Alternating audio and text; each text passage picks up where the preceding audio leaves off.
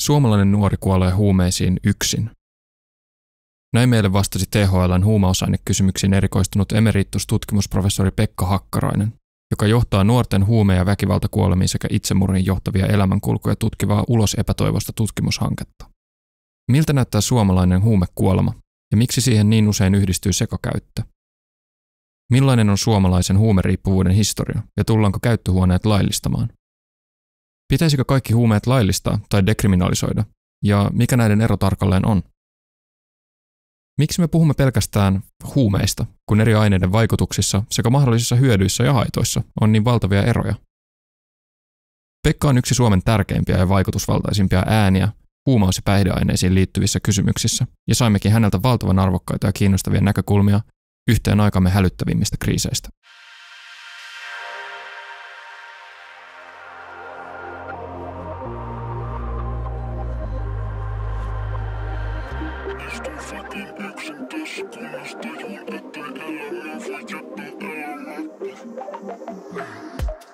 Leikataan se siihen podcastiin.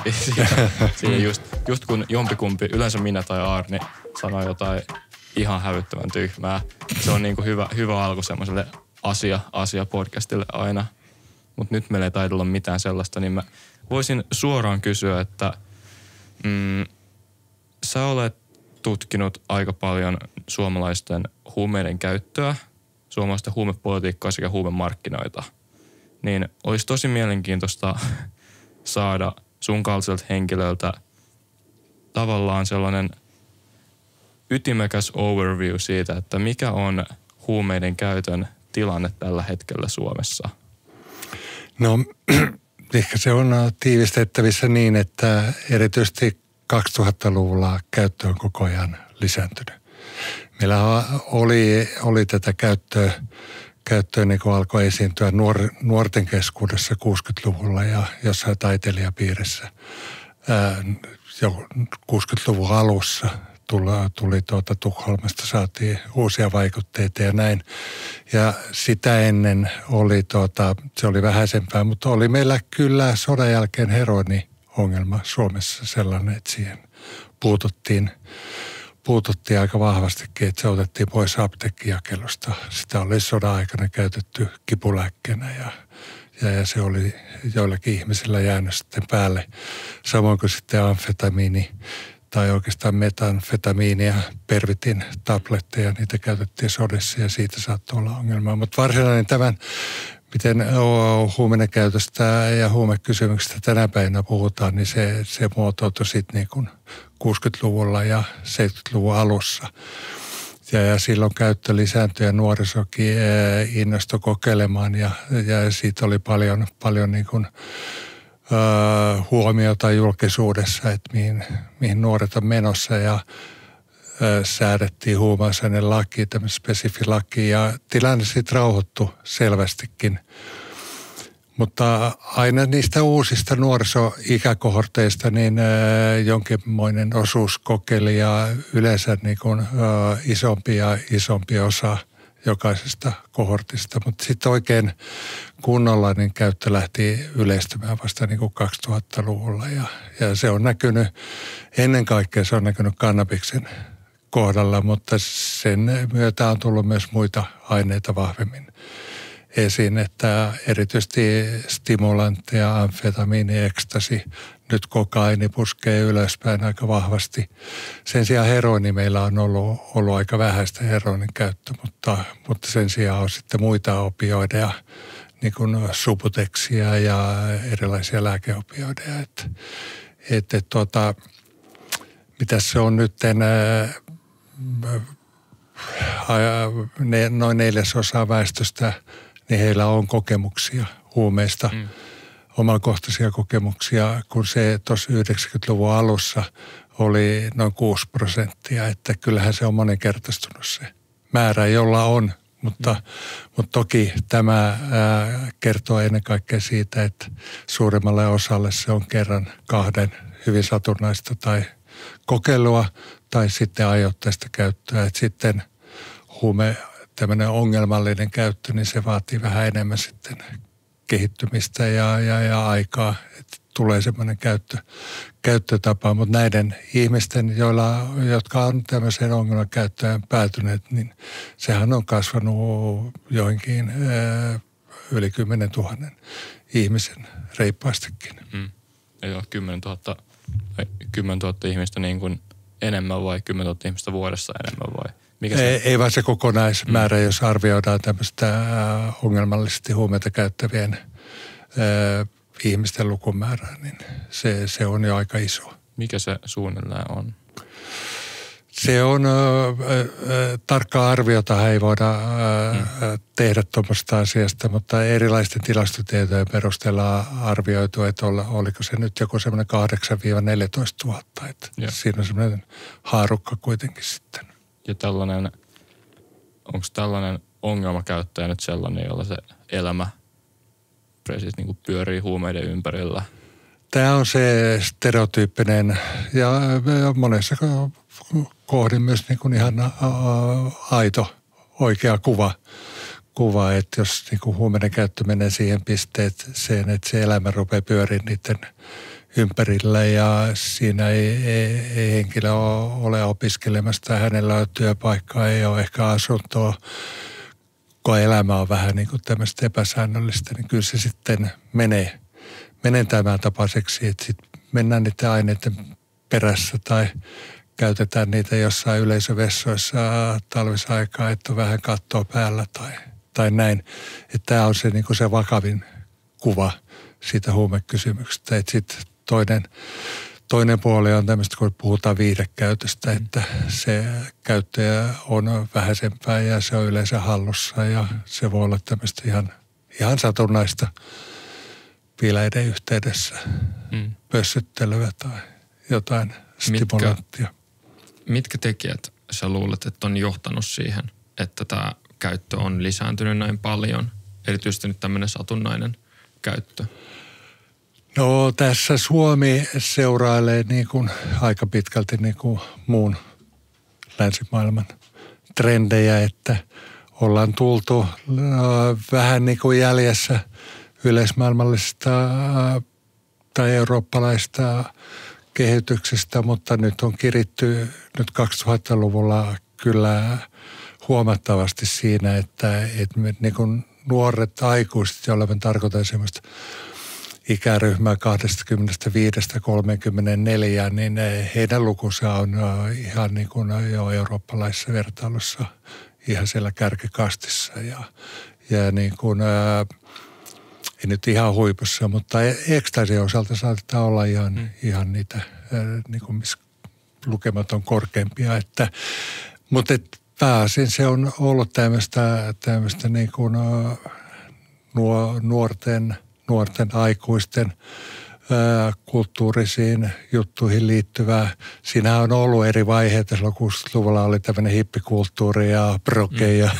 Ja, ja, vastakulttuurinen. Sitten tuli reke, reketä ja sitten tuli teknoa ja hifoffia ja nämä on niinku vauhdittanut. Mutta nyt jos katsotaan sitten tänä päivänä väestö tuota, tutkimuksista tietoja, niin siellähän nuorista aikuisista liki puolet on kokeillut jotain laitonta mm. huumeita ja, ja, ja ää, nuorissa aikuisissa mies se voi olla jopa yli puolet. Niin tämä ei ole enää mikään alakulttuuri. Mm ilmiö eikä johonkin yhteen tiettyyn tyylisuuntaan vai tällaiseen. Että puhutaan kansainvälisesti hyvin paljon on puhuttu tällaista niin kuin huumeiden tämmöisen viidekäytön normalisaatiosta. Mm. Että se leviää laajemmalle ja laajemmalle. Mutta yleensä niin kuin muissakin maissa, Britanniassa tai Saksassa tai Espanjassa, niin se tarkoittaa lähinnä kannabista sitten. Onko sitten, ootko se kokenut, että tavallaan yhteiskunnallinen keskustelu huumeiden käytön ympärillä ja tapa, millä niistä joko puhutaan tai vaietaan, niin on jotenkin vahvasti muuttunut nyt vuosikymmenten aikana? Ähm, yhteiskunnallinen keskustelu on nyt ainakin viime aikoina taas vilkastunut. Ja, ja silloin 60-luvun lopulla, 69 meillä oli poliittinen toimikunta, valtiopäivillä säädettiin, säädettiin laki, niin silloin oli ihan valtavasti keskustelua. Ja, ja oli monenlaista keskustelua. Mm.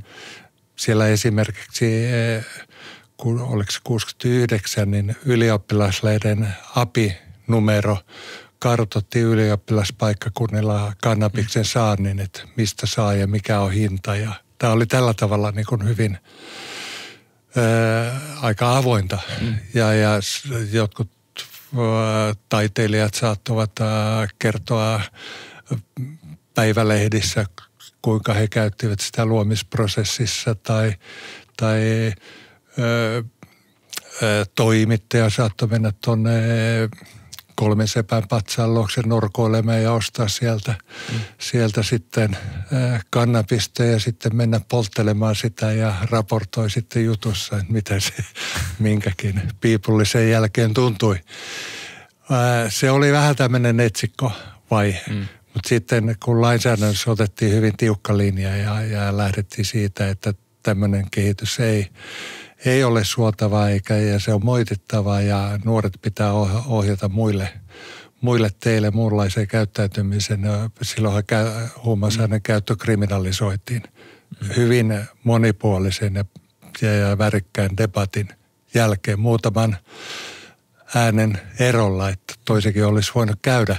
Mutta sen jälkeen asenteet tiukkeni ja, ja, ja, ja niin kuin poliittisissa piireissäkin tuli, tuli vähän semmoinen, että parempi kuin ei puhuta tästä mm. ollenkaan. Ja, ja jos alkoi julkisuudessa menee esittämään jotain erilaisia näkemyksiä, niin hyvin helposti ruvettiin pitää sitä niin huumen myönteisenä tai, tai huumeiden kannattajana. Ja tällä mentiin aika pitkälle niin kuin 2000-luvun puolelle, että semmoinen julkinen keskustelu oli mun, mun mielestä oli hyvin yksipuolista ja ää, aika vähän näkemyksellistä.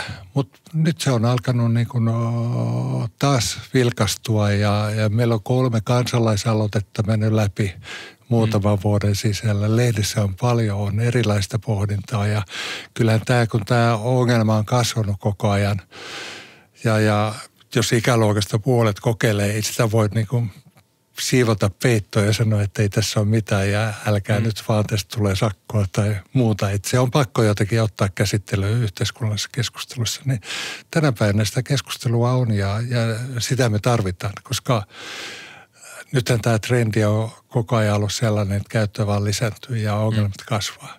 Eikä, eikä mitään niin kuin sellaista äh, niin kuin pysähtymistä oikein mm. ole tähän tehty sitten 90-luvun lopun, jolloin meillä oli tämmöinen virkamiestä koostuva huumausaine strategiaryhmä, joka teki hyvin perusteellista ja perinpohjaista työtä ja mietti, mikä huumen tilanne Suomessa silloin on ja minkälaisia uusia keinoja mahdollisesti tarvitaan. Ja sen jälkeen niitä ruvettiin niitä soveltamaankin. Mutta sen jälkeen oltaisiin niinku vajettu ja eletty siinä eräuskossa, että tämä niinku menee näillä hmm. spekseillä ihan hyvin, mutta kun ei mene. Uskoisitko sä, että jos me ei oltaisi kriminalisoitu huumausaineita silloin, kun se tehtiin, niin oltaisiko me jotenkin merkittävästi erilaisessa tilanteessa nytten? sitä on aika lailla mahdotonta, mm. mahdotonta sanoa, sanoa, että silloinhan se meni niin, että hallitus, joka oli laajapohjainen enemmistöhallitus, esityksissään ei esittänyt käyttöä rangaistavaksi, mutta sitten eduskunta päätyi siihen ratkaisu kuitenkin. Mutta äh, meillä olisi varmasti avoimempi suhde tähän kysymykseen. Se ei olisi muodostunut tällaiseksi, tällaiseksi peitellyksi ja, ja, ja vähän semmoiseksi, että mieluummin olla puhumatta ja hyvin kategorisesti sanotaan, että huumeet on huumeita ja pois silmistä, mm. pois mielestä. Että kyllä meidän olisi silloin ollut pakko puhua enemmän. Se olisi ollut näkyvämpää. Me olisi varmaan saatu ihmisiä myös helpommin, mm. helpommin niin kuin palvelujen piiriin. Meillä olisi ollut ammattilaisten helpompi puuttua siihen asiaan, kun se ei olisi ollut niin tapu. Mm. Nyt tämä, niin kuin, tämä tiukka kriminalisointi ja sen, sen erittäin tiukka valvonta ja, ja siitähän on, on niin kuin nykyään jo vähemmän, mutta aikaisemmin saattoi, saatettiin antaa kovia rapsia ja sakkoja ja sitä todella niin kuin panostettiin siihen. Niin tämä on luonut sen ilmapiirin kanssa, että jos joku ruveaa käyttää, niin sitä piilotellaan ja jos käyttää enemmän, niin viimeisen asti koitetaan pitää mm. se piilossa. Ei haluta niin kuin sitä viranomaiskontaktia siihen, koska pelätään, että se sotkee sitten elämänkulkua monin tavoin ja sitten koituu vain pelkkiä hankaluuksia. Ja se heijastuu varmaan sitten myöskin niin kuin avun hakematta jättämiseen. Kyllä, kyllä ja se voi heijastua niin kuin siihenkin esimerkiksi, että jos, jos niin kuin porukassa on tämmöinen yliannostilanne ja nähdään selkeästi, että mm. joku voi nyt tosi huonosti, niin kyllä siinä aikamoinen kynnys soittaa se ambulanssi siihen, vaikka, vaikka niin kuin ambulanssikuskit pystyisivät sen tilanteen siitä ratkomaan hyvinkin. Onko tuommoisessa, tuommoisessa tilanteessa, nyt, nyt ei tietenkään varmaan, ainakin mun käsitys on, että nuoret on nykyään tuosta aika paljon enemmän niin kuin valmiita ottamaan yhteyttä viranomaiseen, etenkin jos joku kaveri on huonossa jamassa. Mutta sehän on niin, että jos joku ambulanssin kutsuu, niin hehän ei siitä varmaan mitään rikosilmoituksia ei. poliisille tee teidän muiden käytöstä. Joo. Ja ainoa intressi on siinä auttaa. Joo, kyllä. Ja siinä voi vielä varmistaa siinä hälytystä soittaessa, että, että tuota pelkkä ambulanssi. Että mm. tälle ei ole mitään tai jotain tämmöistä. Tuota, mutta kyllä nämä on sitten ihmisillä pelaa tällaiset uskomukset ja muuten. Ja kyllä mä koko ajan kuulen sitä, että, että sitä pelätään. Mm. Ja sitä, sitä niin kuin ajatellaan, että siellä tulee, tulee niin kuin poliisi ja siinä joutuu, joutuu sitten. Ja se on tietenkin erittäin, erittäin harmillista ja, ja, ja äh,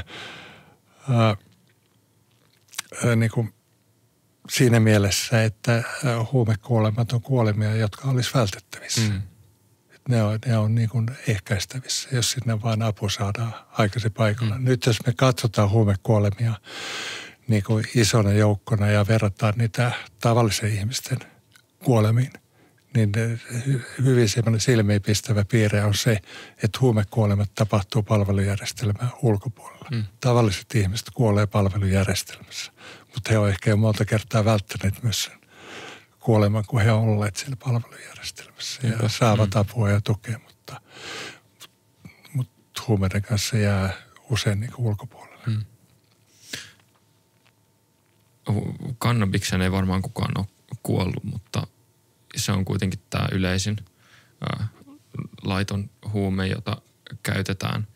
Millaisia ongelmia siitä on niin kuin tullut? No kannabista tarkoitatko terveydellisiä ongelmia vai sosiaalisia? Joo, siis kaikkia ongelmia, kaikkea. No sehän voi, on voinut nousta. Joo, sehän voi aiheuttaa terveydellisiä ongelmia mm. Osalle käyttäjistä ja erityisesti jos kovin nuorena aloittaa sen käytön, niin siitä saattaa olla, olla mielenterveyden kannalta. Ei kaikille, mutta jollekin pienelle osalle ja ne on tietysti ihan hankalia ja ja, ja tuota, valitettavia, että, että tuota, nyt kun Yhdysvalloissa, Kanadassa on laillistettu kannabista Yhdysvalloissa monissa osavaltioissa, Kanadassa, koko valtakunnassa, niin siellä, siellä kun on, tutkijat on sitten niin kuin, ää, tehneet tällaisen tavallaan niin kuin ohjeita kannabiksen käyttäjille, mm. miten välttää niitä haittoja, niin kyllä se sääntö yksi on, on että älä käytä se, se on se ainut varma keino välttää niitä haittoja. No sitten tällaisessa, tällaisessa tuota, maassa kuin Suomi, jossa, jossa siitä niin kuin sanktioidaan ja, ja, ja yhteiskunnan suhtautuminen on ollut hyvin negatiivista, niin sitten voi tulla sellaisia sosiaalisia haittoja, että, että tuota, pahimmassa tapauksessa ihan satunnainen kokeilu voi johtaa siihen, että saa poliisirekisterin, siis mm. tämmöinen poliisin tietojärjestelmään merkinnän tällaista käyttörikoksesta ja, ja, ja sitten se voi tulla eteen vaikkapa työpaikkaa hakiessa, mm. jos työpaikka sitten päättää tehdä tämmöisen turvallisuusselvityksen. Toki se on siinä sitten työpaikan ää, arvion varassa, että mitä se merkitsee, että otetaanko se henkilö töihin vai, vai ei. Mutta että se voi sulkea joillakin aloilla aika, aika mm. pahastikin ja kun asenteet on negatiiviset, niin voi olla, että tulee tämmöisiä takapakkeja tai koulutuspaikoissa ja tällaisia haittoja. Siitä tietysti voi tulla, puhutaan tällaista niin kuin kontrollihaitoista. Että voi olla terveydellisiä haittoja, kontrollihaittoja, sosiaalisia haittoja perheen tai sukulaisten tai, tai muun sosiaalisen yhteisön. Onko meillä jotain ymmärrystä näiden niin kuin laajuudesta?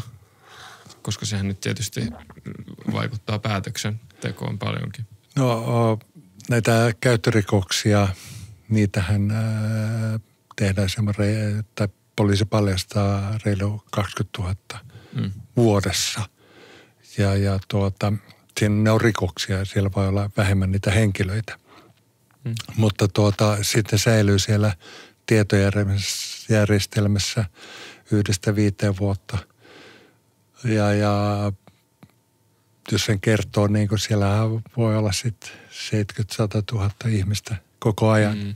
parhaillaan siellä ja nuoria ihmisiä suurelta osin, niin kyllä tämä on yksi mittari. Sitten hirveän vaikea on sanoa niistä terveydellisistä haitoista, että kuinka paljon jotakin psyykkisiä ongelmia, kun ylipäätään ne psyykkiset, niin kuin psykoosia tämä tapaus mm. on hirveän pienellä osalla väestössä, mutta, mutta ne on sitten raskaita ja vaikeita asioita niitä, ja joiden kohdalla se sattuu niille perhe, mm. nuorten perheille ja näin poispäin, että jos on, on tämmöinen käytön, käytön tuota yhteydessä puhjennut. Millä, millä tota noin, tavallaan vakavuuden asteella se huumeiden tavallaan käytön pitää olla, että siitä vaikka poliisi määrää käyttörikoksen, koska toi kuulostaa, on, on aika ankea kuva semmoista maailmasta, jossa vaikka joku nuori on polttanut pilveä ja jää siitä, jää siitä jostain yhdestä kerrasta kiinni poliisille ja sitten näkyykin rekisterissä,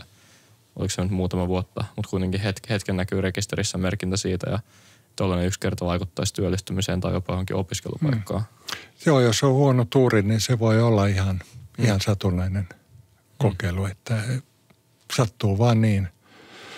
Huono tuuri. Niin, että on jossain julkisessa tilassa mm. poltellaan ja poliisi sattuu paikalle ja kirjaa ylös, niin vaikka poliisi antaisi vain huomautuksen, niin sekin kirjataan siihen, okay. siihen tuota, tietojärjestelmään. Koska se tietojärjestelmä ää, ei voida niin, poliisi ei voi puuttua sillä tavoin, että, että siinä ei kirjattaisi, koska se on myös rekisteri, jonka avulla valvotaan poliisin toimintaa. Mm. Poliisin tulee niin kirjata kaikki toimintansa siihen. Mm. Mm. Että vaikka se henkilö ohjattaisiin hoitoon tai esimerkiksi tämmöisiä että henkilö jostain syystä se on vähän näkyvämpi tai provokatiivisempi tai jotenkin näin ja se viedään syyttäjälle. Jos syyttäjä päättää, että ei, ei ole aihetta nostaa syytettä, niin silti se merkintä jää sinne poliisin tietojärjestelmään, koska nämä kaksi, syyttäjäjärjestelmä ja poliisin tietojärjestelmä, ne ei ole yhteydessä mm. toisiinsa. Ja kun se on siellä poliisin tietojärjestelmässä, niin sitten jokin tällainen – turvallisuustarkastus tai niin, taustan tarkastus, niin se näkyy siellä. Kyllä, kyllä. Että kyllä, kyllä tässä on, on sellaisia riskejä, joita, joita niin kuin kannattaisi miettiä, että onko mm. ne niin kuin sen ää, arvoisia. Mm. Että jos pilataan nuoren ihmisen elämä tai että minkä verran se nyt ehkäisee sitten lopulta käyttöä. Että kun, sitten kun on taas niin kuin – tutkittu maita, joissa käytön rangaistavuudesta on luovuttu, hmm. niin ei siellä ole havaittu mitään sellaista niin kuin käytön nousevaa trendiä. Okei, vähän saattaa heilahdella se taso, mutta, mutta tuota, on jopa sellaisia tuloksia, että käyttö tällaisessa dekriminalisoinnin tehneessä maissa on ö, kehittynyt lievemmin kuin maissa, jossa on, ö, ei ole dekriminalisoitu, on rangaistu käyttöhallussapito on rangaistavaa. Mm. Että, et, et siihen nähden tällaiset niin kuin haitat suhteessa hyötyihin, jos sitä luovuttaisiin, niin on, on aika epäbalanssissa. Mikä sun oma näkemys on? Mä oon puhuttu aika paljon nyt viime aikoina dekriminalisaatiosta ja olisiko sitten kaikkien huumausaineiden vai pelkästään kannabiksen, mutta... Niin. Ehdottomasti kaikkien huumausaineiden. Hmm. Et tuota, Mähän olen esittänyt sitä 2018 THL-blogissa ja myös meidän laitos on ottanut tähän niin virallisenkin kannan. Ja jos me vaan niin tehtäisiin ratkaisu kannabiksen kohdalta, niin silloin me jätettäisiin mm. ottamatta mm. hyötyä siitä, että me saataisiin varhennettua sitä hoitoa hakeutumista. Mm. Ja, ja kuitenkin ne isoimmat huumeongelmat on siellä että niin kuin mm. aktiivisemmassa käytössä ja näissä tämmöisessä ongelmallisemmassa käytössä. Ja näitä ihmisiä meidän pitäisi saada, saada niin kuin hoidon ja palveluiden piiriin sen sijaan, että moni heistä niin kuin menehtyy mm. siinä käyttöurallaan. Et meillä kuolee tänä päivänä niin neljästä viiteen ihmistä viikossa huumeisiin. Se on aika uskomaton luku, kun sitä mm. ajattelee. Miksi me ei oteta, kollegat on kysynyt, verrannut niin kuin liikennekuolemiin. Että siellä mm. meillä on nollatoleranssi tavoitteena. Minkä takia me ei oteta nollatoleranssia huumekuolemille? Mm. Voitaisiin hyvin ottaa, koska ne on ehkäistävissä olevia tuomioita ja lähteä suunnittelemaan sitä toimenpidepalettia yhteiskunnassa sitten tästä näkökulmasta. Mitkä ne pääargumentit näiden kaikkien huumeiden dekriminalisoinnille nyt on? No siinä on yhtäältä nämä, mistä viimeksi puhuttiin pidempään, niin tämä, tämä, niin kuin tämä käytön kontrollihaittojen mm. ehkäisy. Että et siitä ei tule. Sitten se on sen, sen, niin kuin sen avoimuuden ää, lisääminen siinä, että et tuota, henkilöllä ei ole semmoista niin vahvaa tarvetta piilotella sitä käyttöä. Että hän voisi ottaa se rohkeammin esille esimerkiksi terveyskeskuksessa mm. tai työterveyshuollossa, oppilashuollossa. Plus sitten, että me voitaisiin paremmin soveltaa tällaista, niin kuin alkoholin kohdalla on tämmöinen mini-interventio. Että on havaittu, että semmoisella pienelläkin lääkärin tai terveydenhuollon henkilöstö puuttumisella on, voi olla isoja vaikutuksia siihen, miten henkilö tällaisia päihteitä käyttää. Että me saataisiin saatais tällaista koulu, työ, ö, terveys, ö, yleinen terveyskeskus otettua käyttöön ja tällä tavalla niin kuin ihmisiä vähän ää, ajattelemaan. Voisi kysyä, niin kuin, että jos lääkäri epäilee esimerkiksi, että noiden ongelmien taustalla voi olla jotain huumeiden käyttöä, niin jos tänä päivänä kysyy, niin se on sama kuin kysyy, että olet sä niin kuin rikollinen. Mm, mm niin sitten ei olisi tätä leimaa. Mm. Että se olisi vaan niin kuin, että siitä sen yksi leima olisi pois. Ja samalla se sitten varmaankin uskoisin, että se vähentäisi tätä, tätä huumausaineiden käytön leimaa, vaikka ei sitä kokonaan poistaisikaan. Mm. Eihän onhan meillä leimoja niin kuin alkoholissa ympärilläkin ja, ja, ja semmoinen niin kuin alkoholia ongelmallisesti käyttävää henkilöä ruvetaan helposti vierastamaan ja, ja, ja mm työttömän sivuun, niin kyllähän tämmöinen toiminta varmasti edelleen jatkoisi myös huomioon, mutta se poistaisi kuitenkin sitä ja madaltaisi sitä kynnystä, kynnystä tuota erilaisille esilleotoille. Että, että tämmöiset tekijät nyt, muun muassa, mutta tuota, tämän kautta me myös voitaisiin helpommin avata esimerkiksi tätä käyttötila mm kysymystä. Nyt se on äh, hankala vaatii lakimuutosta, koska, mm. koska käyttö on rangaistavaa ja jos joku sanoo, että tuolla käytetään huumeita poliisille, poliisi pitää mennä puuttua siihen. Mm. Näin he katsovat. Ja, ja muita vastaavia ainetunnistusjuttua ei ole saatu kehitettyä, koska siinä on vähän sama, että millä oikeudella ne mm. testattavat siellä pitävät niitä aineita ja mm. syyllistyvät hallussapitoon. Joo. Onko ja, ja, tunnistus niin kuin uuden puhtaus vai? Joo, joo että onko se... Tuota, niin, mm. kyllä.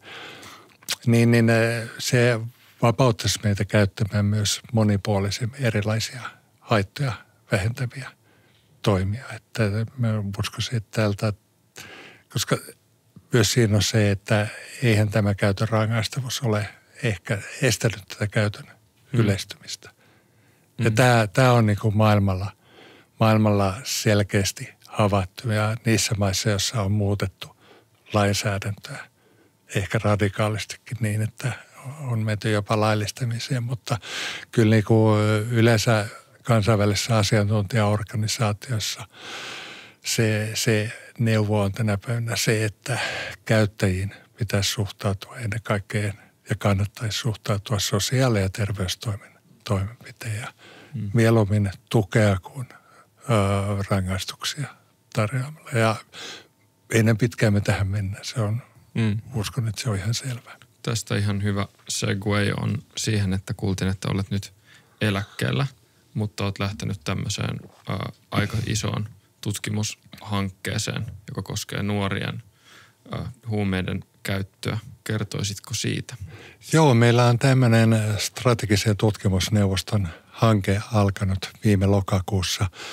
Ja ulos epätoivosta, Young Despair. Ja siinä me tutkitaan alle 30-vuotiaiden huumekuolemia, väkivaltakuolemia ja itsemurhakuolemia. Ja läheltä piti tilanteita. Ja tämä, tämä STN konsepti, eli strategisen tutkimuksen konsepti, niin sehän lähtee tällaista ilmiölähtöisyydestä.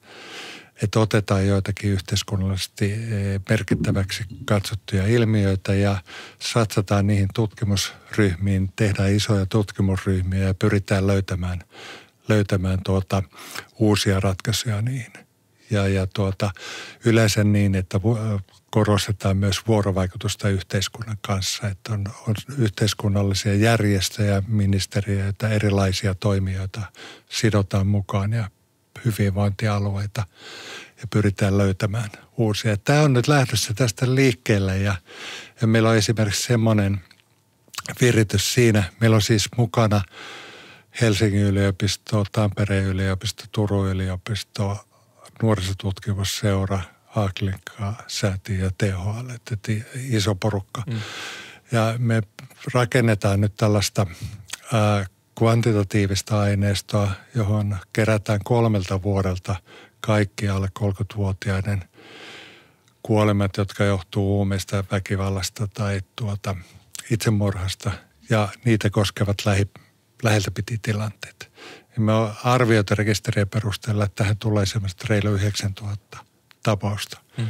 Ja sitten me pyritään etsiä näistä kaikki mahdollinen ää, rekisteritieto ja ruvetaan sitä sitten jauhamaan datatieteen uusimmilla välineillä ja vertaillaan näitä, mm.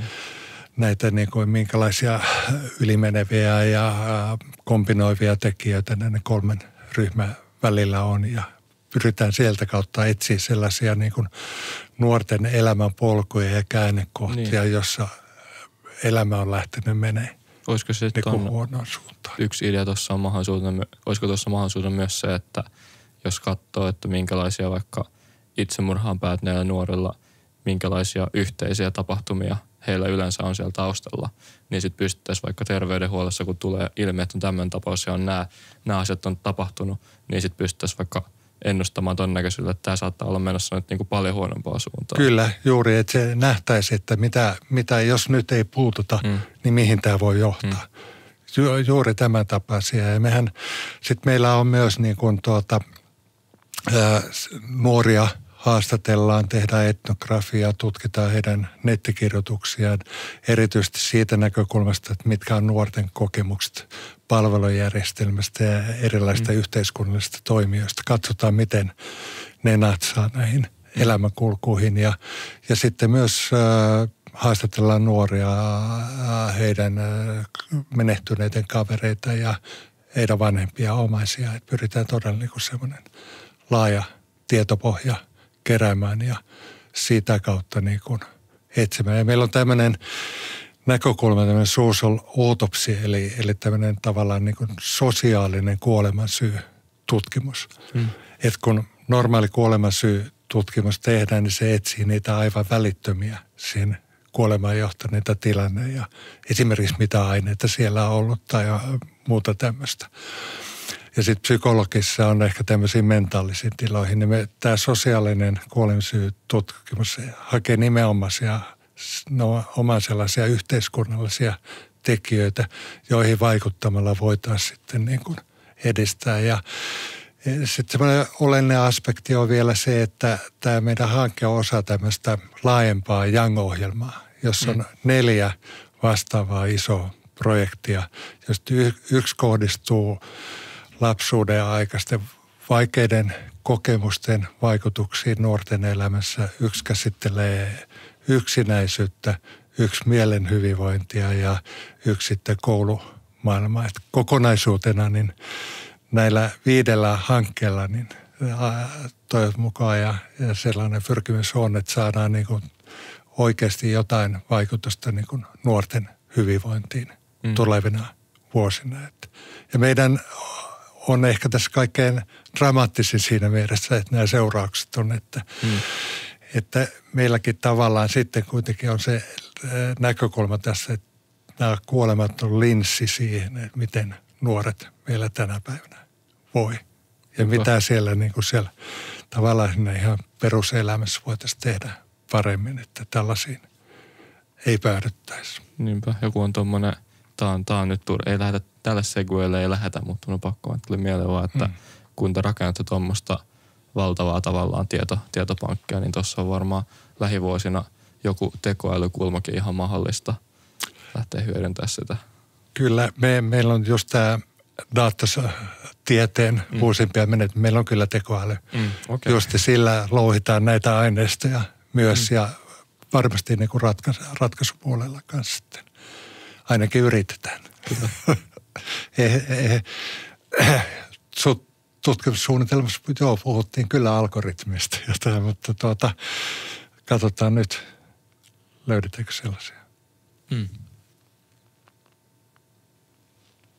Kertoisitko vielä tarkemmin siitä, että mitä, kun Matti mainitsi tällaisesta skenaariosta, millä tämän tiedon avulla voitaisiin ennaltaehkäisevästi ää, auttaa – niin mit, mitä olisi semmoisia konkreettisia juttuja, mihin tuolla voidaan nyt päästä? Ja voisiko sitten tulla joku avoimempi niin kuin, tietopaketti meidän koko kansalle vai mi, mitä me voidaan tästä saada irti?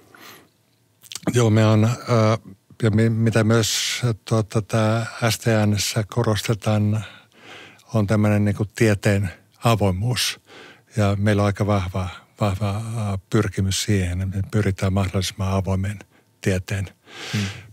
Periaatteita noudattamaan. Noin meidän substanssit on hyvin sensitiiviä, että se asettaa ehkä tiettyjä rajoituksia, että miten me voidaan aineistoa jakaa, mutta kyllä, kyllä niin kuin pyrkimys on, on niin kuin sellaiseen avoimeen, avoimeen jakamiseen myös niin kuin ihan tutkimusaineistojen pohjalta ja, ja ehkä, ehkä tarjota sellaisia mahdollisuuksia – pyöritellä sitä dataa jollain tapaa myös tutkimusryhmän ulkopuolella. Katsotaan, mitä aukenee, mutta sitten meillä on paljon, paljon kumppaneita ja järjestötoimijoita ja tällaisia, joiden kanssa pyritään sitten ja nuoria otetaan mukaan niin kuin hakemaan, että mitkä, mitkä oli sellaisia, mm. sellaisia niin kuin politiikkamuutoksia, joissa, joissa tuota yhteiskunta voisi toimia paremmin. Meillä on niin kuin yhteistyötä hyvinvointialueiden kanssa, mitä siellä – voitaisiin tehdä ja pitäisi tehdä. Ja kyllä niin kuin sitten näissä alapolitiikoissa, niin kyllä ilman muuta, muuta niin meiltä tulee myös niin kuin näkemyksiä siihen, että, siihen, että huumausainepolitiikkaa Suomessa pitäisi, pitäisi muuttaa ja tehdä, tehdä niin kuin toisenlaista lähtökohdista. Mutta äh, aktiivista mm. yhteiskunnallista keskustelua, en usko, että meillä on yhtä tarjottavana missään vaiheessa yhtä hopealuotia, joka, mm. joka ratkaisisi näitä, näitä mutta me, me viritetään yhteiskuntaa ja, ja pyritään saamaan yhteiskuntaa mahdollisimman laajasti mukaan tähän. Ja varmaan, jos tuossa on, sitten kun on se tieto tavallaan, niin toi olisi joku, tai niin mä, mä en tiedä, voit korjata, jos mä oon väärässä, mm. mutta mä näkisin tuossa, että lop, yksi, yksi lopputulos voisi olla jonkinnäköinen semmoinen niin testi, joka mm. sitten, jos vaikka – johonkin terveydenhoitajalle tai muulle sosiaalityöntekijälle mm. tulee joku nuori, niin hän voi sinne kirjoittaa, että näitä asioita nuori kertoo, että on kokenut. Mm. Ja sitten laittaa ne tänne tämän tietokannan tai jonkun AI-järjestelmän läpi ja Joo. saada sitten tuloksia, että vaikka kuinka, kuinka korkeassa riskissä hän on. Kyllä, joo, joo meillä, meillä on, on, on ajatus just tämmöistä niin kuin, uh, alarming signals, Niinpä. Mm. että mitkä olisi semmoisia hälytyspisteitä, mihin olisi hyvä reagoida. Että nythän hyvin paljon tulee sellaista niin kuin tietoakin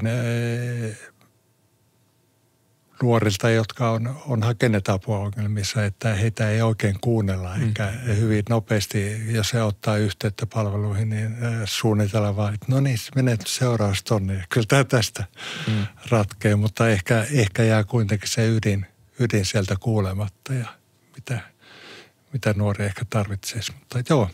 Tämä on ehkä teidän, tähän on ehkä helpoin vastata teidän tutkimukseen päätyttyä, mutta mm. miksi suomalainen nuori kuolee huumeiden käyttöön?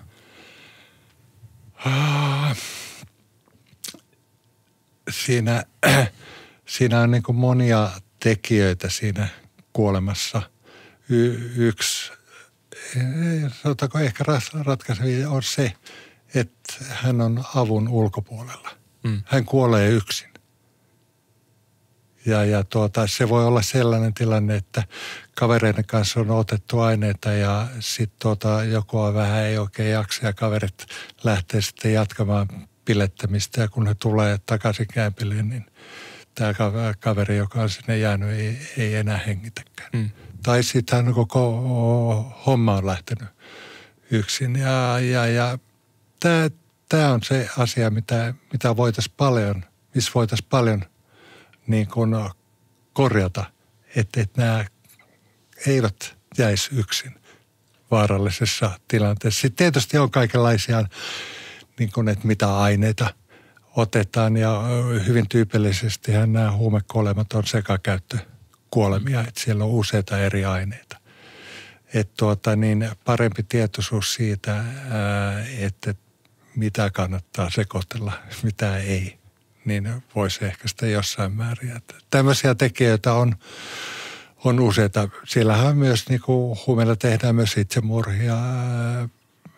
Sitten on, on esimerkiksi tämmöistä, jos käyttää vahvia opioideja, että on ollut jonkin aikaa ilman ollut esimerkiksi katkolla mm. ja sitten tulee pois ja sitten kuitenkin haluaa ruveta vetämään – ja sitten vetää semmoisen annoksen, minkä on ottanut ennen katkoa mm.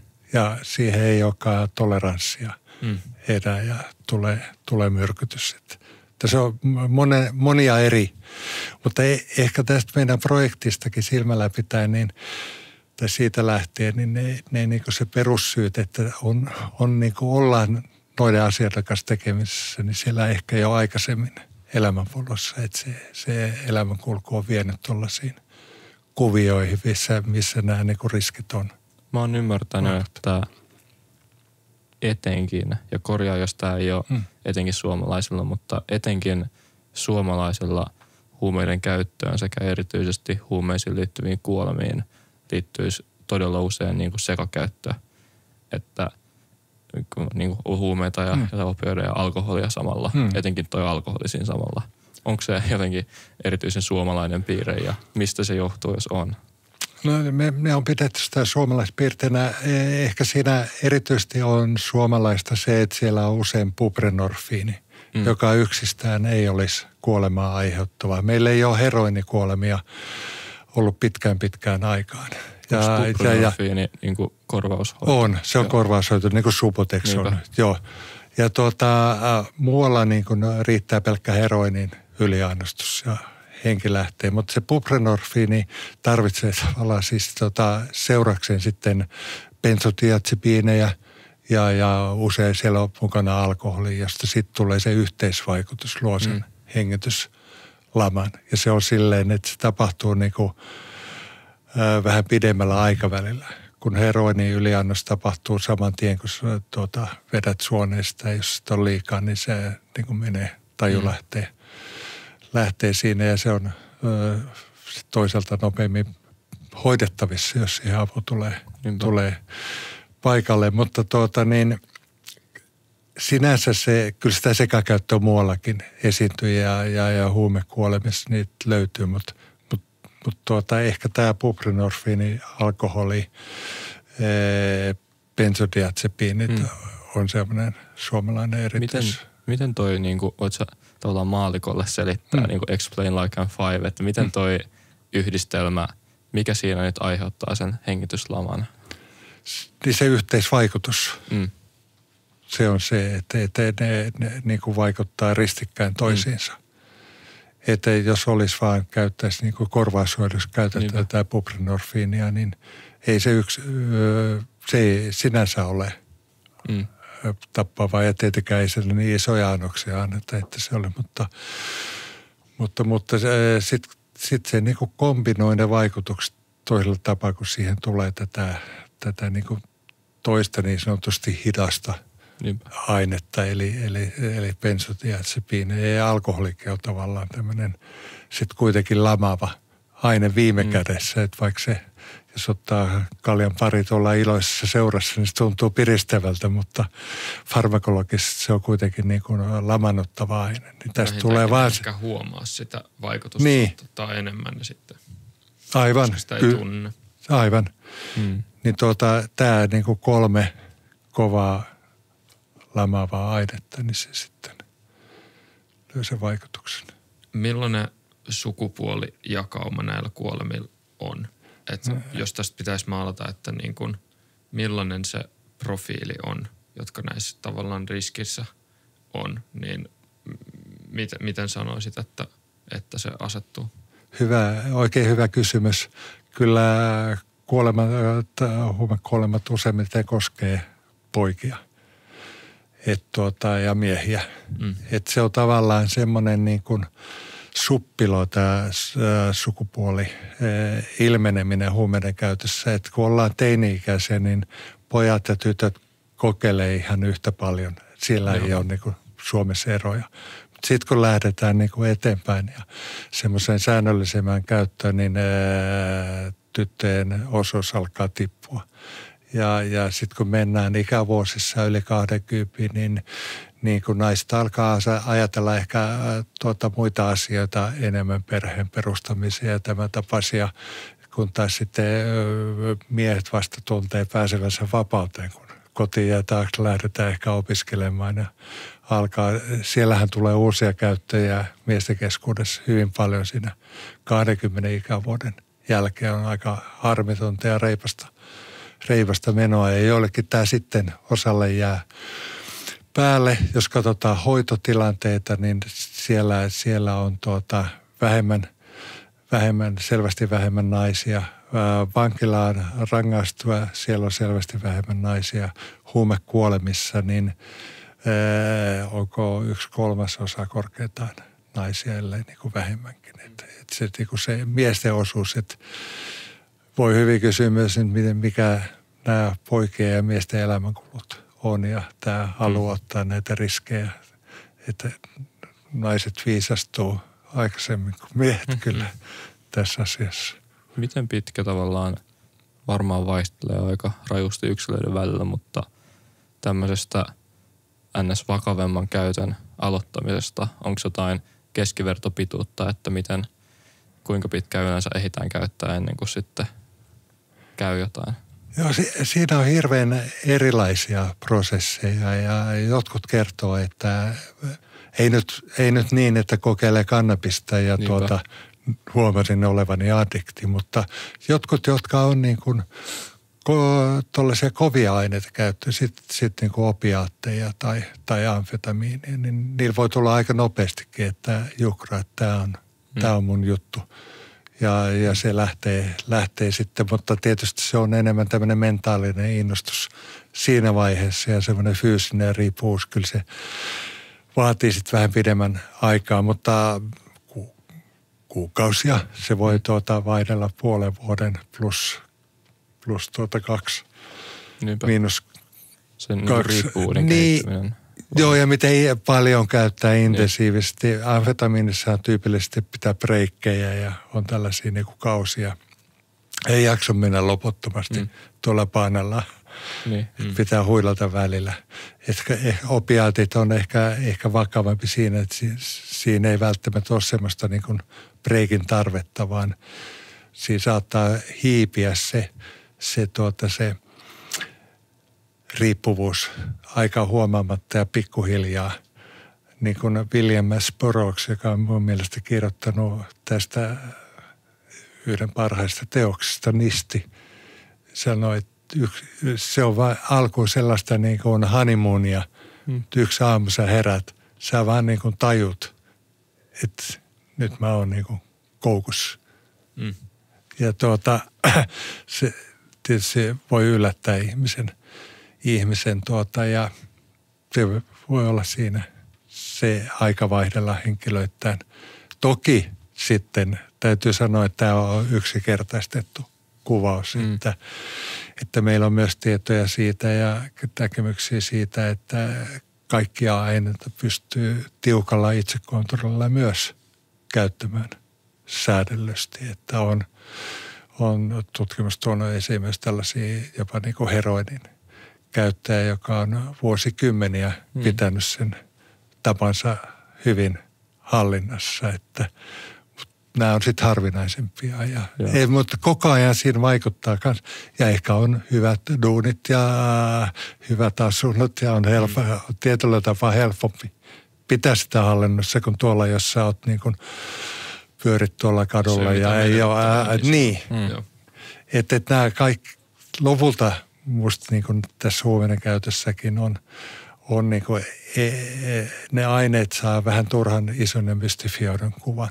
Et lopulta on kysymys siitä, että kuinka sä niin kuin jäsennät omaa elämääsi ja kuinka sä pystyt sitä kontrolloimaan ja hallitsemaan ja minkälaiset niin kuin elinolosuhteet sulla on. Onko sulla niin kuin, niin kuin sanoit, positiivista näkymää, onko sulla jotain menetettävää vai mm. eikö. Ja tämä tapaiset asiat, niin kuin mä luulen, ratkaisee kuitenkin kaikkein eniten.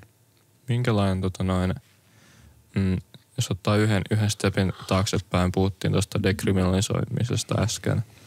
Minkä, mikä on se tavallaan syy, miksi me ei olla vielä tehty sitä? Ja mitkä on, onko sulla jotain keskeisempiä argumentteja sitä vastaan? Ää, no e- ehkä niin pitkään on haluttu niin pitää keskustelua pois siitä kokonaan, että vois, voisiko käyttö, voisiko tämä olla toisin. Että et on ollut sellainen asenne, että tästä ei keskustella. Silloin kun oli tämä huumausainepoliittinen tuota, ryhmä, joka teki se strategia 90-luvun lopulla, hmm. niin silloin esimerkiksi siitä ei olisi tullut mitään, ellei, ellei he olisi niin kuin yhteis, ymmärrystä sitten mm. mietinnöstä, ellei he olisi sopineet, että käytön rangaistavuudesta ei puhuta. Mm. Sitä ei käsitellä. Sitten päästiin niin kuin kuitenkin äh, haittoja vähentävistä toimissa eteenpäin. Mutta tuota, kyllä se äh, useimmiten sanotaan äh, niin, että, ja, että, että, että ajatellaan, että käytön rangaistavuuden, sen poistaminen lisäisi käyttöä. Et sen jälkeen ihmiset rupesivat käyttää ihan mm. hillittömästi joka puolella. Me ei, ei olisi niin kuin mitään rajaa. Tämä on ihan niin kuin väärä käsitys. Eikä se, että me poistettaisiin niin kuin käytön rangaistavuus rikoslaista suinkaan merkitse sitä, että me oltaisiin niin kuin kädettömiä sen mm. asian edessä. Ed- edelleenkin me voitaisiin niin säätää pitää sitä, että se ei, ei ole hyväksyttävää. Me voitaisiin säätää, että sitä ei, ei saa julkisella paikalla käyttää. Ei, ei tuota, päiväkotien ympäristöissä tai puistoissa tai tällaista. Esimerkiksi Yhdysvalloissa näissä osavaltioissa, jossa on kannabis on laillistettu, mm. vaikkapa Coloradossa, joka teki sen ekana, siellä on open ja public käyttö on kielletty. Mm. Mm. Se voit saada sakot siitä. Eli se on niin kuin yksityisasunnossa suurin piirtein verhot edessä ja ei missään puutarhassa tai parvekkeella, vaan, vaan sisätiloissa. Että et edelleenkin me voitaisiin säädellä sitä, mutta me ei niin kuin sillä tavalla niin kuin näihin henkilöihin puututtaisi ja heidän toimintaansa, että, että se on se iso muutos. Mutta tätä ajatellaan siis, että se lisäisi kuitenkin – me voitaisiin sitä säädellä ja tuota, sitten kokemus kansainvälisesti on se, että se ei ole lisännyt niin kuin aikaisemmin mainitsin. mainitsin. Ja tuota, tämä on vain semmoinen sitten semmoinen mantra, jota hoitan, että, että jos poliitikko näkee, että no on sillä pieni mahdollisuus, että joku voisi innostua käyttää, niin sitten sanotaan, mm. että minä en halua yhtään uutta huumeiden käyttäjää tähän maailmaan mutta se niin kuin estää keskustelun. Sieltä mm. saataisiin ehkä monta pois, mm. jos joku uusi tulisi tilalle. Mutta tuota, tämä on yksi, sitten on tämä, tämä niin kuin tällainen, mikä sanotaan yleensä vastaan, on se, että se antaisi väärän signaalin kansalaisille ja erityisesti nuorille ihmisille, mm. että tuota, huumeiden käyttö on hyväksyttävää, jopa, jopa niin kuin suositeltavaa. Ja tämähän on myös sellainen niin kuin mun mielestä väistöargumentti, että kuitenkin se, minkälainen viesti siitä lähteet viestintätoimistoon, niin ihmisenä tiedätte, mm. niin riippuu hyvin paljon, kuinka se viesti tehdään ja kuinka se mm. välitetään. Kun Portugali dekriminalisoi kaikkien huumeiden käytön 2001, heillä oli laajat isot kampanjat, muun muassa elokuvateatteriin, kutsuttiin ihmisiä, jossa mm. selitettiin sitä, että miten, mikä tämä uudistus on, mitkä sen tavoitteet on ja mihin sillä pyritään. Tämä on myös tällainen, ei se viesti Niinpä. Itsestään lennä. Ei varsinaisesti, meillä varsinaisesti ei myöskään kannusteta ihmisiä polttamaan tupakkaa, vaikka se on täysin laillista. Aivan, ja tupakka on ehkä hyvä esimerkki siinä, että sehän ei ole niin kuin sen käyttö ole mm. niin kuin rangaistavaa. Ja me on mm. päästy saatu tupakointia vähenemään todella huomattavasti, että ei se välttämättä edellytä sitä. Se voi olla, olla niin kuin, itse asiassa niin kuin kallis ja hyvinkin tehoton keino pitää tämä, mutta tietysti mm. sillä oli silloin aikanaan oli oma historiansa, mutta miksi me, me on nähty nyt se, että se ei estä käyttöä mm. lisääntymistä, niin miksi tätä ne vastustajat eivät yleensäkään halua niin kuin pukea kysymystä se vaikuttaa. Näin, vaan aina, sanovat, niin. että on se nyt monta ihmistä estänyt. Tai sitten sanotaan se ehkä, ehkä myös se vasta, vasta että kyselitte, sanotaan, että mitä sanotaan nuorelle sitten kotona, jos, jos käyttö ei ole rangaistava. Että nyt se tavallaan vanhemmille ehkä, ehkä jonkinnäköinen apu, että sanoo, sano tuota lapsille, että, että sitten huumeita, koska se on rangaistava, että poliisi mm. tulee ja mm. tuota, tulee rangaistus. Mutta tuota, sehän merkkaa siis sitä kanssa, että se on kotona sitten piilossa se asia. Siitä mm. ei puhuta. Tässä on niin kuin nuorisotutkimuksen yhteydessä on kysytty esimerkiksi, että tietävätkö vanhemmat kotona nuorten alkoholin käytöstä. Mm. Ja kaksi kolmasosaa nuoret sanoi, että tietää.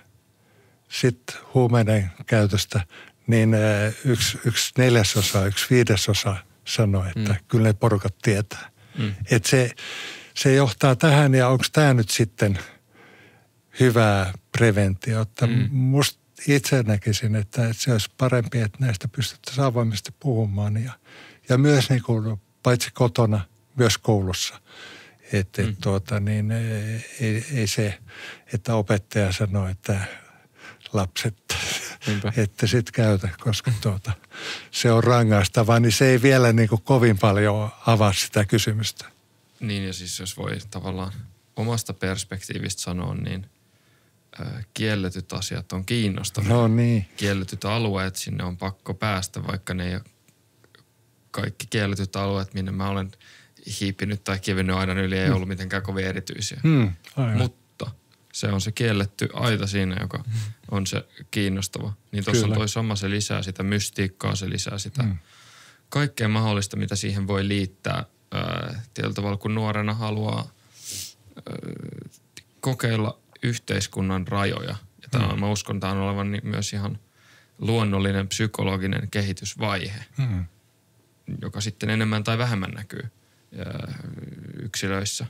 Mulla varmaan sitten näkyy enemmän, en nyt ehkä ei välttämättä huumeiden mm. käytössä, mutta monella muulla tavalla. Mm. Niin, mutta jossain toisessa ulottuvuudessa olisi voinut johtaa hyvinkin siihen. Mm. Tai että mä voin hyvin nähdä juuri tonne, että miksi se, mm. että se on kiellettyä, olisi voinut mm. johtaa siihen, että sitä haluaa Aivan. kokeilla. Mm. Kyllä forbidden fruit, tämä on vanha konsepti. Ja sitten kun on, usein se aloittaminen sitten, eka kokeilu, ne tapahtuu just kaveripiirissä, jos mm. niin luotetaan toinen toisiinsa ja se on niin semmoinen yhteinen Jep. juttu sitten. Sä sanoit, että tavallaan ehkä ei ole, me ollaan par, parissa vaiheessa nyt käyty läpi mm. jostain niin huumeiden – ympärillä käytyä keskustelua sekä historiassa että nyt, tai no historiassa historiassa, mutta sekä mm. lähihistoriassa että nykyhetkessä, mutta toinen tällainen, jossa keskustelu vaikuttaa vähintäänkin niin kuin polarisoituneelta, on nyt just tämä kannabiksen laillistaminen. Mm. Että vaikuttaa siltä, että on yksi puoli, joka on sitä mieltä, että ei me nyt ole mitään huumetta laillistamassa, eikä myöskään muuta dekriminalisoimassa. Ja sitten vaikuttaa siltä, että on toinen puoli, joka vähän vaikuttaa jopa siltä, että niinku kannabista niin glorifioidaan sen kannabiksen vuoksi. Että se on niin jotenkin superhieno juttu, että pitää päästä laillistamaan. Ja sitten ne, jotka on siinä välissä ja vaikka herättää sitä, että dekriminalisoidaan, mutta ei välttämättä laillisteta, niin jää vähän niin kuin hukkuu, hukkuu tähän virtaan. Mutta mikä sun oma näkemys tästä kannabiksen laillistamiskysymyksestä on? No, äh, musta on hyvä, että se äh, kansalaisaloite sai sen mm. tarvittavan allekirjoitusmäärän, että se ruokkii keskustelua ja se tuo, tuo tätä niin kuin monipuolisemmin tätä ilmiötä esille. Ja kyllähän se on iso, iso juttu, että, että tuota, maailman ää, jossakin valtiossa on päädytty laillistamaan se, koska se tulokset siitä kieltolaista on olleet vähemmän rohkaisevia. Mm. Ja nyt Saksa on päättänyt lähteä samalle linjalle ja tulee niin kuin Euroopassakin tällaisia. Että ilman muuta meidän pitää keskustella tästä, tästä kysymyksestä myös. Ja se on niin kuin hyvä asia, että tuo sitä, pakottaa sitä keskustelua. Mutta kyllä mä näen, että tämä dekriminalisointi on, on mm. mun mielestä oleellisempi asia, että kannabis koskee, vaikka se on eniten käytetty – aine, niin se koskee kuitenkin semmoista ehkä hyväosaisinta mm. osaa Kyllä. ihmistä, mm. jotka käyttää näitä ja on kiinnostunut näistä aineista. Että ennen kaikkea me tarvittaisiin niin välineitä siihen, että me saataisiin tätä ongelmakäyttöä vähenemään ja sieltä sen piiristä ihmisiä pois. Ja kyllä tämä ongelma on näkynyt mun mielestä myös niin kuin Yhdysvalloissa, että taitaa olla niin kuin ja lukuun ottamatta, niin muissa osavaltioissa muut aineet on edelleen, niiden hallussapito on, on kielletty mm. ja siellä mm. tulee ihan samoja vankila tuomioita pelkästä hallussapidosta, kun aikaisemmin tuli kannabiksista ja siellä on opioidekriisi, ihmiset kuolee niin kuin hirveitä määriä, samoin kuin Kanadassa. Mm. Toki siellä on alkanut se keskustelu nyt, että pitäisiköhän tätä niin kuin muidenkin aineiden osalta ajatella tätä tilannetta enemmän. Mutta se on vaan niin kuin pieni osa, osa ratkaisu, että sinänsä ne, olen siis sitä mieltä, että Suomessa tämä dekriminalisaatio on se, mm. se, niin kuin se järkevin optio tässä vaiheessa. Mutta sen lisäksi ilman muuta meidän pitää ja kannattaa seurata, että miten tilanne ää, kehittyy näissä maissa – joissa on tehty tällaisia ratkaisuja ja varmaan tällaista painetta tulee, tulee niin kuin kannabiksen osalta uudelleen arvioida tilannetta, mutta se on myös niin kuin tätä jul- nykyistä julkista keskustelua, niin se on paljon monimutkaisempi kysymys, on monipuolisempi kysymys, että miten se säätely sitten rakennetaan ja, ja, ja miten varmistetaan, että se laatu, sen säätelyn laatu on, on niin kuin, sitten hyvällä mm. tasolla – ja nyt siihen on monenlaisia ää, malleja, alkaen sellaista toisessa ääripäästä tiukka monopoli, monopolimalli, vähän niin kuin Alkon tapainen, ja toisessa mm. sitten hyvin vapaa markkinatalous. Mm. Ja tuota, siihen sopii monta erilaista. Saksa hakee sinne ja Kanada on hakenut semmoista välimallia. Että miten nämä eri mallit sitten vaikuttaa siihen tilanteen muotoutuminen. Kaikki tämmöinen tieto meillä ei vielä sitä ole ja ennen kuin tämmöiset pidemmän ajan muutokset mm. ja vaikutukset selviää, niin siinä menee, menee aikaa, mutta Kyllä.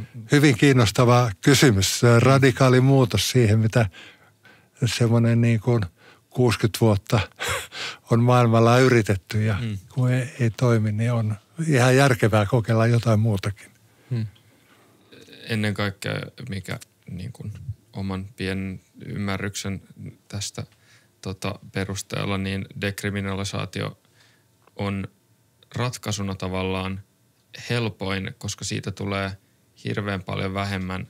Jos jotain, niin siitä tulee ehkä vähemmän duunia yhteiskunnalle. Hmm.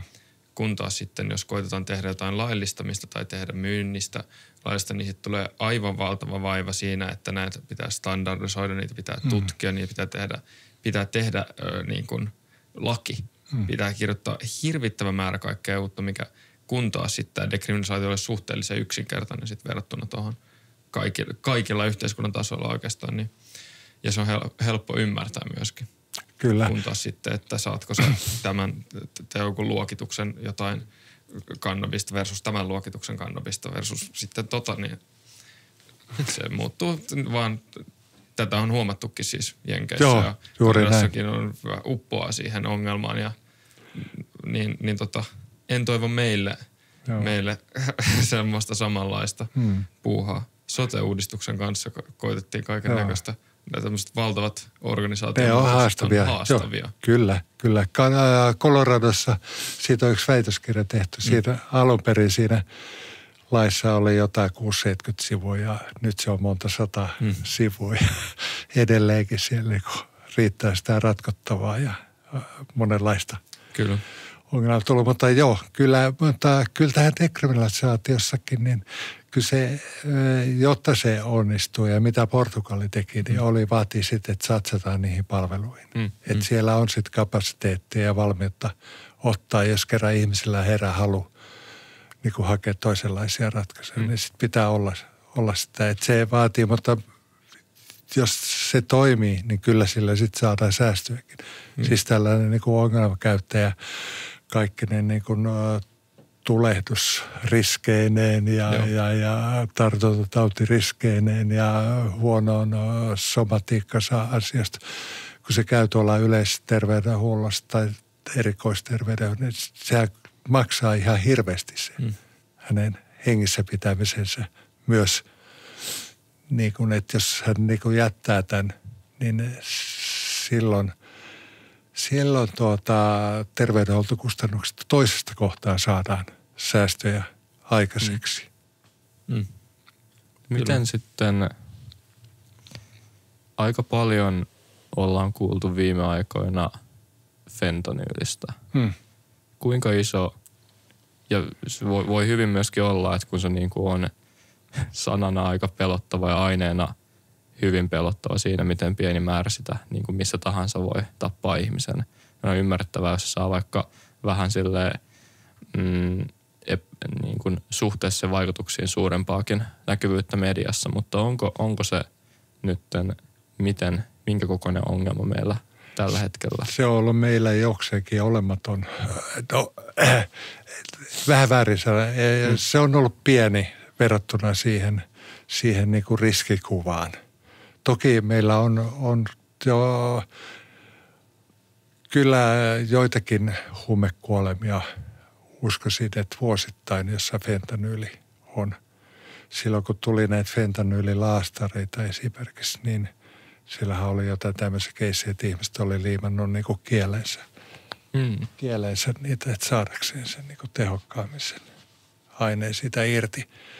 Että kyllä näitä on, on niin kuin esiintynyt, mutta se ei ole, ei ole niitä uhkakuvia mukaisesti, mutta mm. sehän voi tapahtua todella nopeasti ja, ja myös, että siinä pitää olla, kun taas niin, niinkin lähellä meitä kuin Virossa, mm. se on ollut niin kuin merkittävin huumekuolemien aiheuttaja. Mutta ehkä tässä suomalaiskäyttökulttuurissa tämä, tämä että se on keskitytty se buprenorfiinin – mm. ympärille hyvin vahvasti. Ja toisaalta sitä amfetamiinin. Se ei ole sitä fentanyyli sitten. Miksi tämä buprenorfiin tai Subutex on niin yleinen? Onko se, että se saa niinku resepteillä periaatteessa on korvaushoidossa vai mikä? No sitä, sitä on tuotu niin kuin, Ranskasta tuotiin okay. yhdessä aikaa vahvemmin, sitä on tuotu Virosta ja näin. Kyllä sitä suurelta osin on tuotu, ellei se ole niin kuin korvaus. Mm hoidossa, mutta siinä on myös aika vahva se riippuvuus silleen, että, että joskus kuuluu, kun ihmiset sanoo, että se on niin kuin vahvempi kuin heroinista, että siitä on va- vaikeampi irrottautua. Et e-, ehkä, e-, en tiedä, onko henkilöt kokeilleet sitten fentanyyliä ja todenneet, että, että e-, ei se auta näihin mun vierotusoireisiin, että mä tarvitsen tuota mm. buprenorfiin, että sen takia se pitää.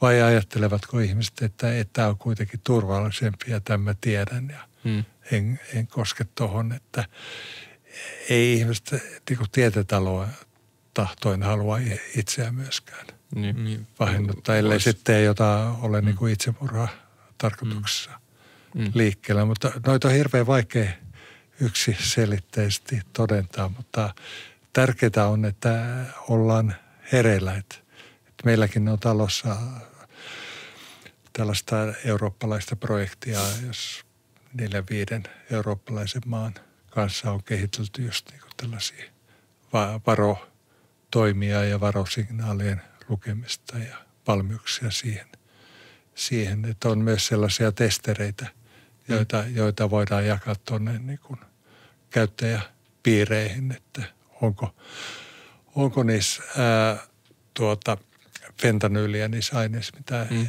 he on hankkineet.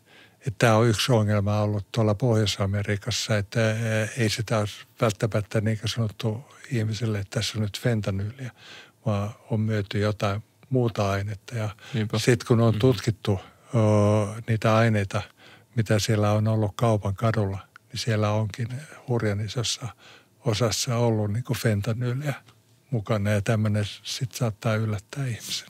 Onko se fentanyyli, se niin kuin, sillä siis terästetään jotain muita? Niin se kuin... voi olla omansa mm. ilme, ei tarvitse mitään, se on yeah. niin vahvaa, että, mutta sitä voidaan niin kuin mm. laittaa myös muiden aineiden sekaan. Ehkä sitten voidaan sanoa, että tässä on nyt stydimpää kamaa, että mm. usein käyttäjät haluaa sitä Sitten voidaan vahvempaa. tehdä vähän enemmän voittoa kanssa. Niin, kyllä, kyllä, joo. Joo, juuri näin. Kaikki tämmöiset mm. tekijät. Se ilmeisesti on, on niin kuin Thomas, niin kuin, muistan, että Kanadaankin on tullut paljon Aasiasta. Ja, ja ilmeisen helppo ollut valmistaa vaatimattomassakin labra-olosuhteissa sitä. Mm. Ja edullista. Että kyllä, kyllä nämä talousasiat sitten, kun ollaan järjestäytyneen huumerikollisen kanssa tekemisissä, mm. niin totta kai painaa myös. Mua kiinnostaisi ehkä, ehkä vikana juttuna vielä kuulla vähän enemmän tuosta markkinapuolesta. Sä oot niin kuin huumemarkkinoita ymmärtääkseni jonkin verran tutkinut. Niin olisi tosi kiinnostavaa kuulla, että millä tavalla ne on kehittynyt tai muuttunut tässä vaikka 2000-luvun aikana. Onko ne kansainvälistynyt paljon vai – miten, miten vaikka esimerkiksi nyt some, some näkyy siinä, että se on varmaan huomattavasti helpompaa ostaa yhtä sun toista. No se, on, se on kyllä tavattoman tärkeä oleellinen muutos tämä, tämä niin kuin internetin mm. mukana tuoma kryptomarkkinat, niin kuin mm. sanotaan, niin tuota, kyllähän se, se näkyy ihan, ihan oleellisesti. Mutta eh, ehkä enemmän vielä niin kuin nuoremman porukan keskuudessa, että – että vanhempi jengi ei välttämättä ole niin tuttu käyttää niitä välineitä, mm. vaikka ei kai se nyt tänä päivänä enää niin hirveästi erityisosaamista vaadikkaan. vaadikkaan mutta tuota, kun me tehtiin väestökyselyjä, kysyttiin tätä, niin kyllä tästä niin sukupolvierot tuli hyvin, hyvin vahvasti, että 80-luvun jälkeen syntyneillä oli ihan eri tasolla se, se niin kuin internetin käyttö huumehankinnoissa. Ja, ja tuota, kyllä se merkkaa tietenkin, siinä on paljon sellaista niin kuin esimerkiksi, että sun ei tarvitse tuntea välttämättä sitä, sitä joka myyjää. Mm. Ennen kun se oli katukauppaa, niin piti tuota, olla joku kontakti sinne, että jos tuli vaan niin kuin, tuota, huu, kukaan myy huumeet, niin saatettiin olla vähän varovaisia, että, että onko, onko toi poliisin lähettämä ja – Mm. Onko se niin kuin urkkimassa jotain, mutta nythän sä voit niin kuin, öö, sun ei tarvitse tuntea niitä piirejä, sä voit niin kuin tuolla netissä. Aika tuo, kuulin siitä kyllä itse asiassa juuri tänään, tänään tällaisilta tyypeiltä, jotka on tuolla, niin kuin tekee ehkäisevää työtä tuolla verkossa, että on, on myös näissä uusissa sovellutuksissa sitä, että sinne ei niin kuin me pääse ihan noin vaan, että vaatii tällaisen jonkun suosittelijan, että mm. pääsee mukaan. Mm rinkeihin, koska poliisihan on mennyt sinne myös. Niinpä. Ja, ja siellä on myös näitä kiinni joutumisriskejä, mutta mutta siinä on se globaali markkina myös, vaikka ne sitten sit niin kun, en tiedä miten ne järjestetään Suomeen ja sitten tuota, hoidetaan nämä myydit täällä Vikkerin kautta tai jonkun mm. muun tällaisen salatun järjestelmän kautta. Sehän nyt ei ole sit kovinkaan kummasti tietoteknisesti, ei tarvitse mm. mennä darknettiinkään. Mm. Mutta tuota, kyllä tämä, tämä on oleellinen, oleellinen ja iso, iso muutos entiseen. Ää, siellä on niin kuin markkinoilla kyllä oleellinen muutos myös tämä ainekirjo, että sitä tavaraa riittää siellä ja sitä tulee niin kuin koko ajan lisää uusia juttuja. Ja toisaalta jengillä on niin kuin, intoa ollut kokeilla erilaisia. Aikaisemmin, jossain vaiheessa puhuttiin tämmöisistä psykonauteista, jotka niin kuin testa, testasi niin kuin, yhtä, jota mekin yhdessä hankkeessa haasteltiin, niin piti oikein Exceliä niin kuin, niistä eri aineista ja mm-hmm. kirjasi sinne niiden ää, tuottamia kokemuksia. Niin tuota, tämä ainekirjo on ihan toista kuin se mm. on ollut, ollut aikaisemmin. Ja tietenkin tämmöinen huume, tietyllä tapaa niin kuin huume, huumerikollinen huumemarkkinoita tuottaja porras, niin siellä myös kehitellään ja haetaan näitä uusia, mm. uusia yhdisteitä koko ajan. Tämä on yksi iso muutos. Sitten sit kannabismarkkinoissa on, on tota, kyllä iso, iso muutos myös, kun tota, hassis on korvautunut marihuonalla.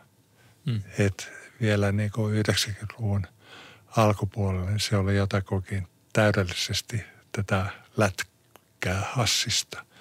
Ja, ja tuota, nyt se on kukkaa suurelta osin.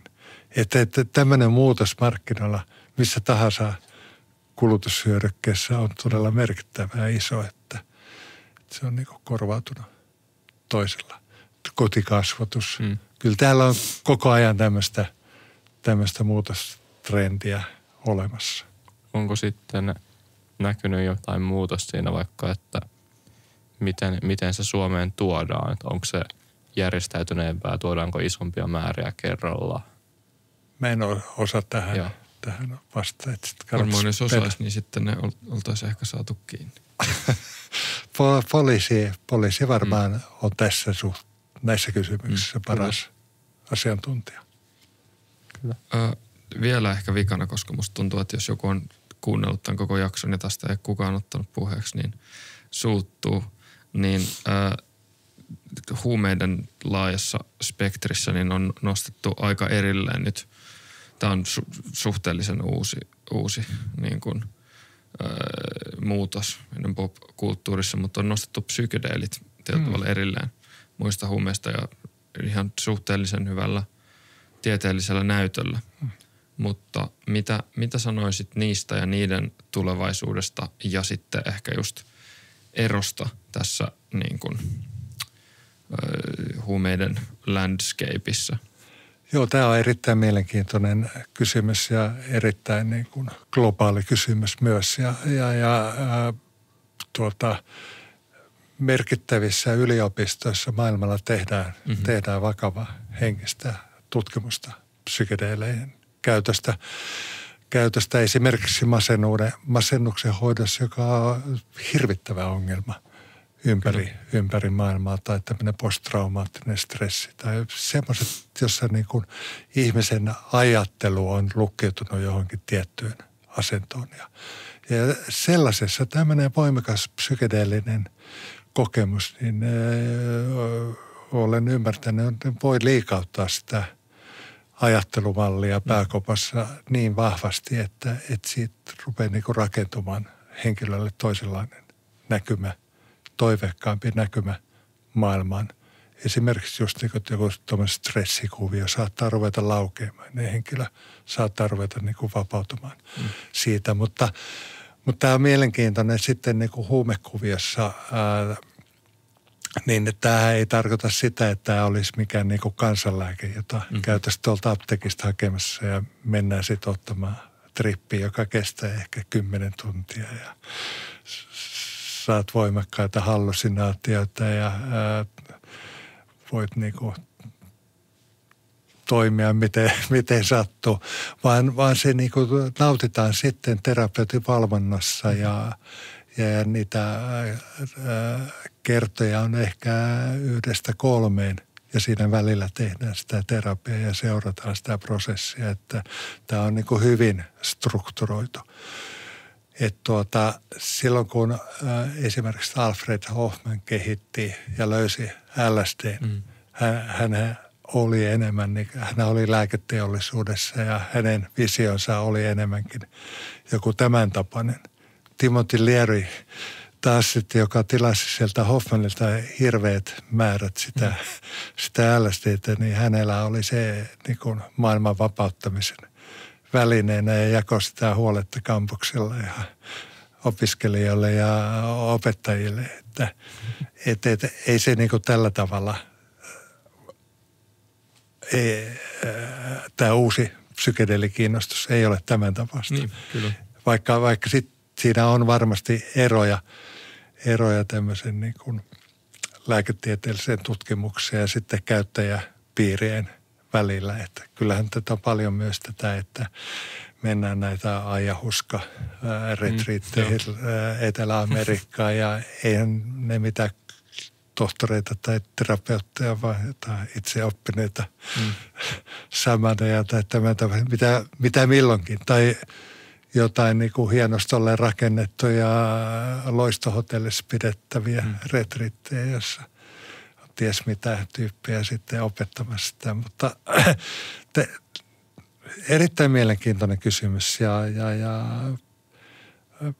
varmasti seurataan mielenkiinnolla, että mitä se lääketieteellinen tutkimus siis tuo esiin. Jos se pystyy ratkaisuja tuottamaan, niin varmasti asenteet niihin myös muuttuu ja se käyttö, käyttö varmaan tulee jossain määrin sitten terapeuttinen käyttö sallituksi. Mutta kyllä siihen jää tämmöinen jännite sitten tämmöisen omaehtoisen mm. testailun välille varmaan myös. Mielenkiintoista myös ehkä se, että toisaalta se tapa, millä me puhutaan huumeista on hyvin, hyvin yleistävä. Hmm. Että mekin tässä Kyllä, puhutaan niin. tällä hetkellä huumeista, mutta oikeastaan me ollaan puhuttu – täysin erikseen nyt vaikka tästä subutekstistä ja sen, sen miksailuista ja me ollaan puhuttu täysin erikseen kannabiksesta, me ollaan puhuttu täysin erikseen psykedeeleistä.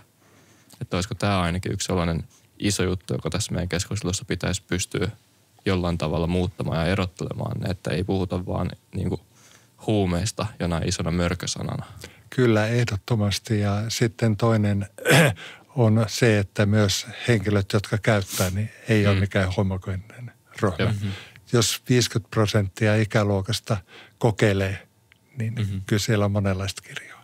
Jep, ja sitten toinen mielenkiintoinen on just se, että nytkin näistä tietyistä huumeista voi, samalla kuin näistä tietyistä huumeista voi olla paljon hyötyä just vaikka onko masennuksen hoidossa, niin sitten samaan aikaan, mä en tiedä, että onko tämä joku yle, yleinen käytäntö, mutta ainakin – Suomessa ollut paljon uutisissa, että ei ole vaikka päässyt johonkin MT-palveluiden piiriin sen mm. takia, että on ollut vaikka kannabiksen käyttö viimeisen kuuden kuukauden aikana, mikä sitten samalla kun tosi usein MT-ongelmat ja huumeiden käyttö on käsi kädessä, mm. niin toi on aika, aika paradoksinen ja aika perseellinen tilanne joutua tällaiseen.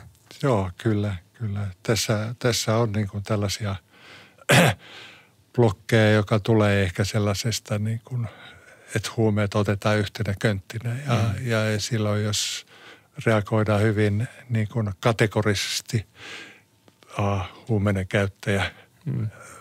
Muuta käyttäytymistä tulee sitten uudestaan ilman, että todella perehdytään siihen case by case ja katsotaan, mitä se henkilö oikeasti tarvitsisi.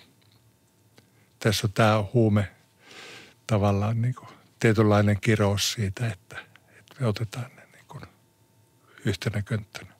Tämä on ehkä aihe toiselle keskustelulle. Sulla on erittäin rauhoittava ääni. Sen mä oon tässä ah. kuunnellessa. Kiitos. Kiitos tosi paljon tästä. Joo, aivan loistava. Kiitos. Yes. Eri, erinomainen. Siis, mä en, mä en tiedä, kuinka tässä on voinut mennä puoli tuntia, tässä on voinut puolitoista tuntia. Mä on jotenkin lumo. Istun fucking yksin tässä kunnossa